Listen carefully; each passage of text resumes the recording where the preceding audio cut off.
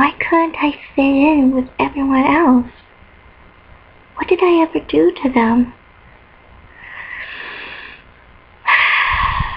Well, hopefully things couldn't get worse.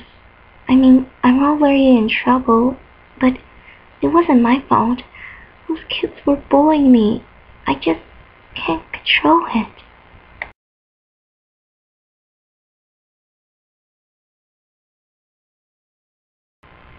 Hey kid, you shouldn't be in this place.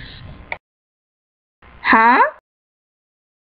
This area is for fighting Pokemon only. A normal type like you would be too dangerous to be here.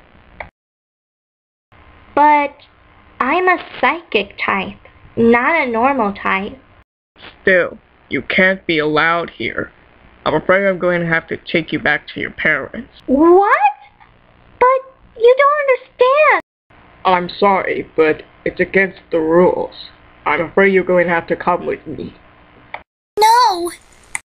I'm not trying to hurt you. I just want to help you.